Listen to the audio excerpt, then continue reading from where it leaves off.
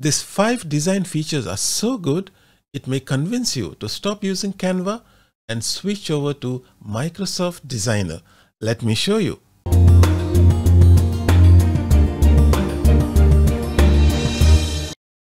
Microsoft Designer is a new tool that is completely free and allows you to create designs using artificial intelligence. All you need is a Microsoft account and you are good to go. The first feature that you will love is of course the use of artificial intelligence. You can create a new design simply by typing a prompt. Let's say I want to create a flyer for an upcoming event on public speaking and leadership. Let me type my prompt. My prompt is to create an Instagram post on public speaking and leadership skills. Click on generate. And just like that, it has created a series of posters using different design ideas. If you like a particular design, just click on it and download it and you are done. If you want to refine this design or perhaps make it brand compliant, we can click on customize design.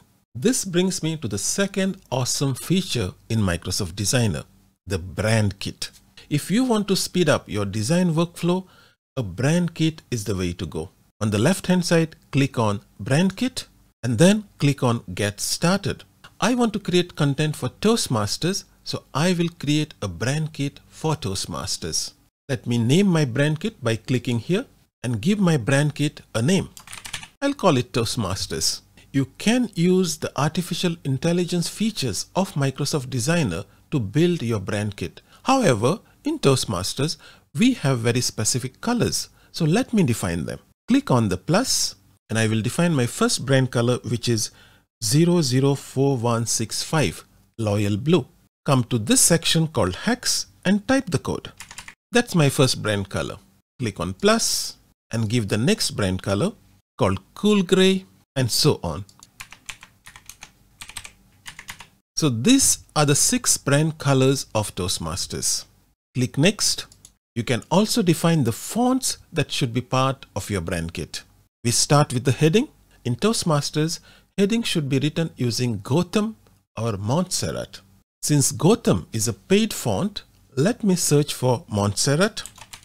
Microsoft has several versions of Montserrat that we can use. Let me try this semi-bold. And I think this is the version that is closest to the brand font that we can use. Click on it. Click on the back arrow. Then click on the next button. Here we can define the second font that should be used for subheadings. In Toastmasters, the recommended font is Source Sans Pro. Let me search for it. Source Sans Pro. This font is available out of the box. All I have to do is click on it, click on the back arrow and then next. And finally, the font that you should use for your body. In Toastmasters, it is also Source Sans Pro. I will select it, go back, and we are done with our brand kit. Click on Preview Brand Kit. We have defined the colors and the fonts. Click on Save. This will save you so much time when you are designing. Let's get back to our design. I want to change this background color to one of my brand colors. Click on it click this color icon, we can now choose one of the brand colors very easily. The same applies to fonts. Click on the text. On the left hand side, instead of suggested, select brand font. And with a click, you can make your font brand compliant.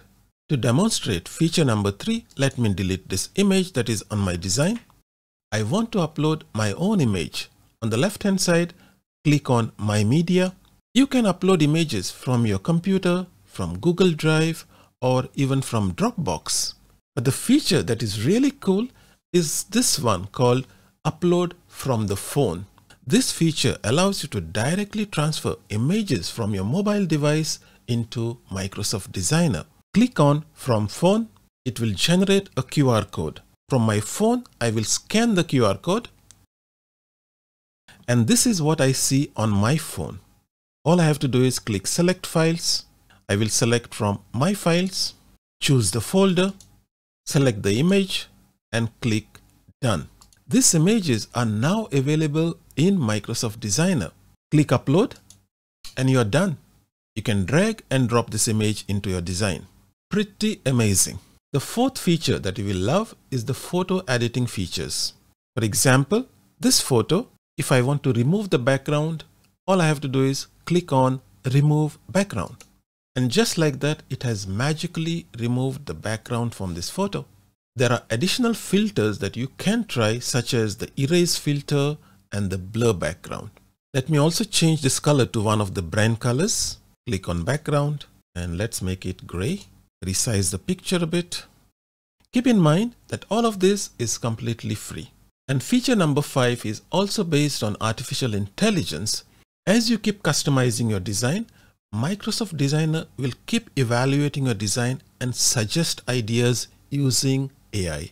If you like any of the suggestions, all you have to do is click on it. The suggestions are great. Of course, they don't look at the branding guidelines. So if you want to do something that is brand compliant, then you have to stick to your own design. If you want to revert to your original design, all you have to do is click on undo and you're back to your brand compliant design. So those are five features that can radically improve your design workflow and they are completely free. What other features in Microsoft Designer do you like? Please leave a comment. If you like this video, please like and subscribe because it motivates me to create more content like this. Have fun designing